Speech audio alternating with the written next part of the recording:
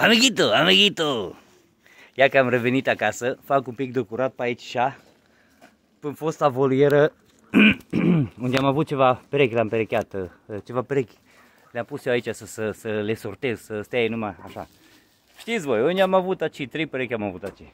Am vrut să fac eu ceva combinații. Fac, pregătesc aici că mi-am adus ceva, mi-am îndeplinit un vis.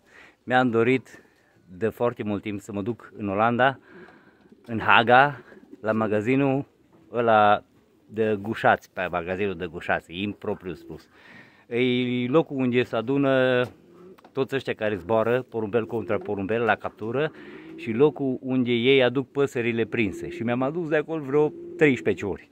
Tot ce am găsit pe acolo și mi-a plăcut mie tot mi O să vă pun și clipurile, am filmat acolo și am vorbit cu nenea întâi dacă mă lasă, cu nenea, cu doamna acolo, dacă mă lasă, mă lăsa să filmez și o să vă pun și vouă și după aia o să vă arăt și păsările, să, vă, să vedeți ce am luat. Facem o, o, o revizie a acei loco. Dar până atunci eu trebuie să termin de curățat aici și o să ne vedem foarte des cât stau am. Nu, nu știu cât stau acasă, dar în perioada asta să vă arăt ce mi-a ieșit mie aici, așa, la Alandala. Bine, au avut băiatul meu grijă de ei, dar mi-au ieșit niște exemplare, eu nici nu m-am apropiat acolo ca să-i văd, deci wow, de la distanță am văzut numai, e super încântat.